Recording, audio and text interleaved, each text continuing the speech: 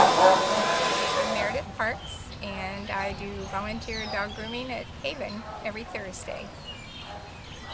And I'm Karen Collins, and I also do volunteer dog grooming at Haven every Thursday.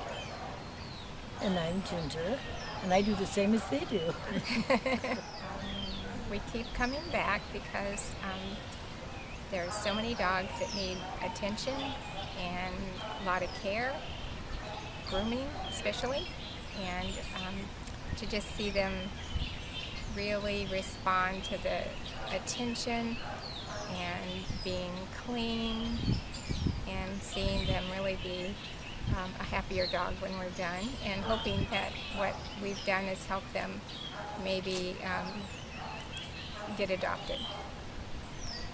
And I really can't add too much to that other than it's just a good feeling to sometimes work with a really frightened dog and after they've spent um, half an hour or an hour with us, to see them come out of that shell and be relaxed and be happy, it's just a, it's a very, very worthwhile feeling. Makes you feel very good about what you're doing.